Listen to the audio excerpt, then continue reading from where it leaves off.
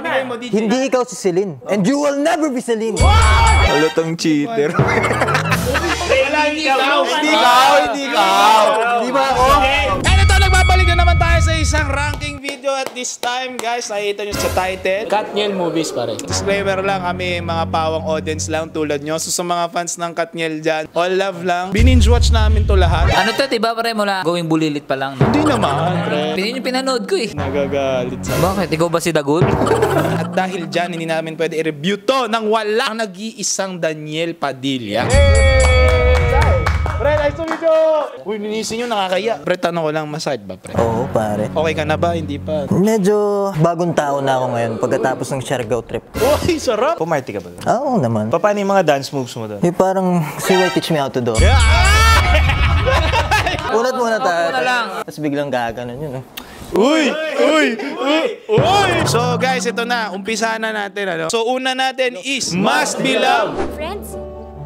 Best friends. Ako, doon napatunayan na may chemistry talaga yung dalawa. Medyo yung slow na concept. Oo, oh, hindi realista. Anong nangyari yung slow mo ah? Isa pang detail doon, hindi na siya voice over. Nagsasalita mag-isa si Catherine no. Best friend mo lang naman siya dati. Pero isang araw, na lang nag-slow mo. Di ba pwede mo naman kung in real life, pwede naman in, sali- Sa akin yung sa slow mo lang, yung sa dulo kasi, hindi pala slow mo yung inahanap. Yung fast forward. Kaya siguro nila binild up yung slow mo. Pero positive sa akin ha, yung chemistry ng daddy ni si Jan, sino yun? Jan Estrada. Jan Estrada tsaka ni ano, ni Catherine. May bridge moment sa umiyak si ano. Yung nasiraan sila. Kasi yun ang madali sa akin eh.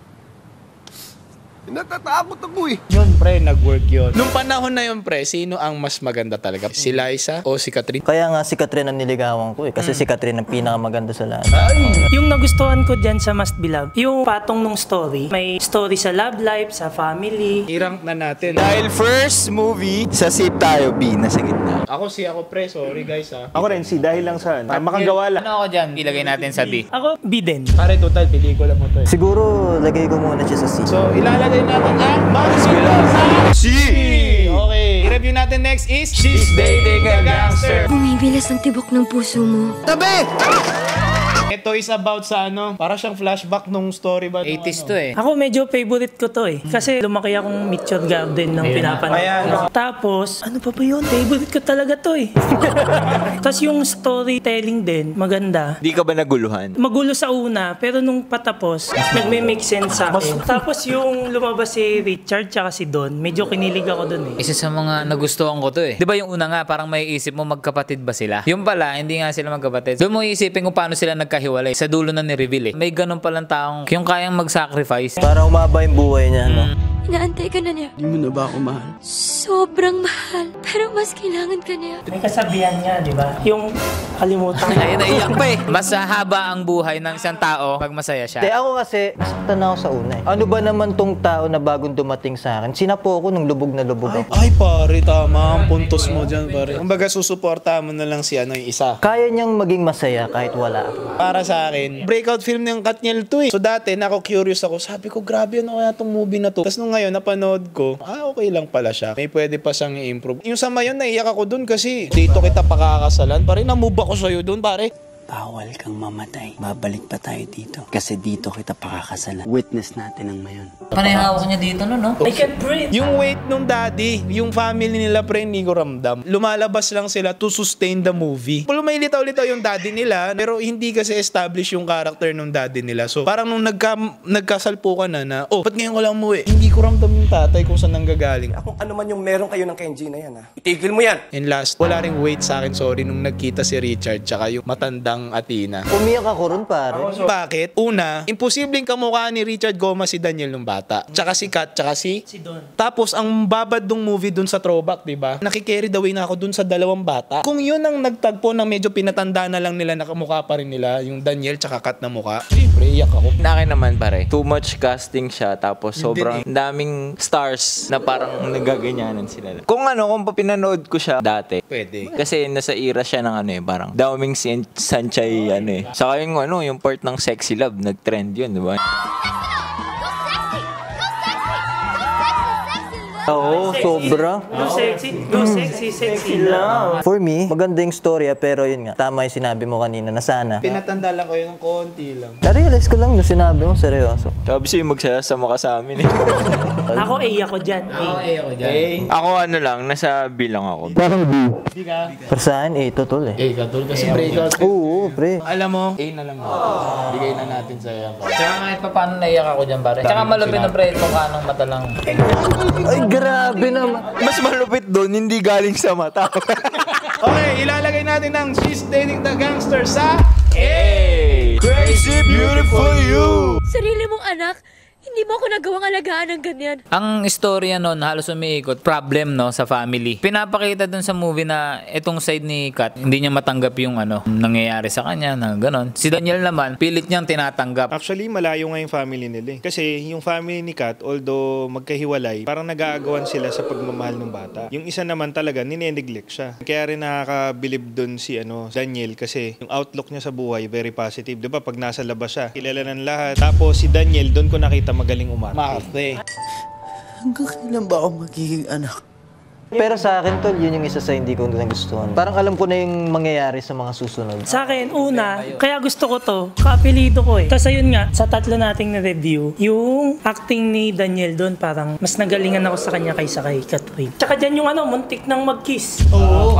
Feel ko ayan yung movie na sobrang nahirapan sila. Kasi nandun si Lorna Tolentino. Pati si Gabby Concepcion, syempre. Yun lamang aking mga pare. Eh, so ako, pre, una sabihin ko sa'yo, ang gwapo mo dito, pre. Ang ayoko lang dito, yung mga ayoko muna yung makeup ni Catherine. Masyado pinaka-obvious na rebelde. eh. Pangalawa, yung placement ni Inigo sa umpisa, ang babaw. Pag nanood tayo ng movie, guys, dapat may character development. Sa lahat ng Katniel movies, ito lang ang meron. Tsaka House of Us ata meron. Pero ito, pre, ang linis, pre, umarko talagang ganun, no? Tapos, yung indigenous family, pre, hindi nyo ba na ano yun? Ang ganda nun, pre. Pinakita nung pelikula na may mga tumutulong talaga din si Lorna, di ba? Tapos yung conflict ng mag-ina nga, may arco din. Hindi lang character. Yung conflicts nasusolve sa huli. Pre, maganda yung movie. Ganda. Tsaka ang ganda rin ng sinabi ni Daniel doon ha, sa, sa tatay niya. Minsan, subukan niyo rin ipaglaban. Kahit minsan pagtanggol niyo naman po ako.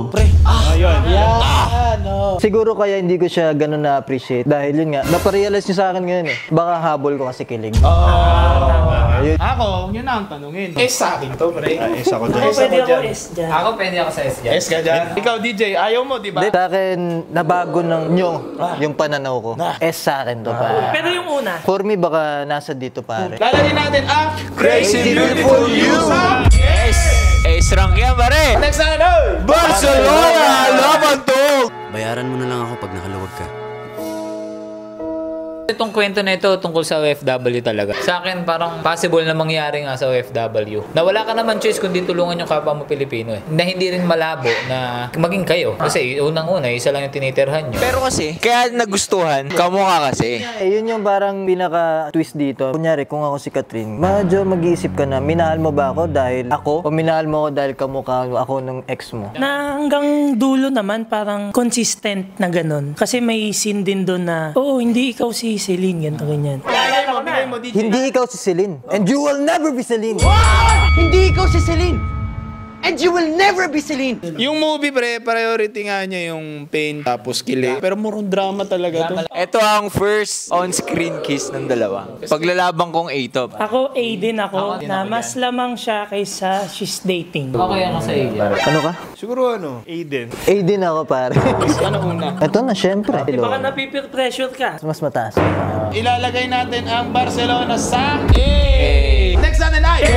Falling in love! Kaya kailangan maghiwalay na tayo. Grabe naman, hiwalay agad. Unahin ko na. Basta sa akin, ang pinakamaganda na kasi yung ines ko. Pero kilig factor, di naman nawala yun. So hindi ko gusto yung ano, bigla ka na lang ikakasal dun sa bar kahit lasing pa kayo. May boyfriend si Catherine. Kaya na naging legit. Kasi mayor. Mayor na nagkasal. Basta pre, yung, yung alone na situation na yun, very convenient para sa story, which is, ang gara eh. So doon na siya umikot para maging conflict ni Catherine na habulin si Daniel hanggang sa sila yung magkain laban. Habang nag-aaral ng mabuti tong si Mateo Gudicelli na nag-propose, tapos Catherine pinagitan na siya sa parang, eh, yes, sige. How can I say no?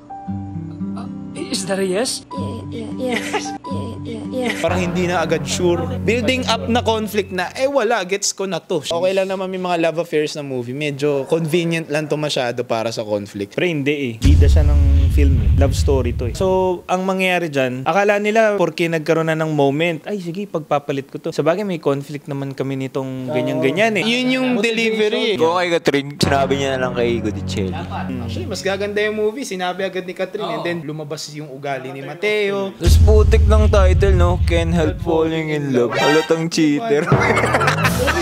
Hindi ikaw! Hindi ikaw, hindi ikaw. Di ba ako?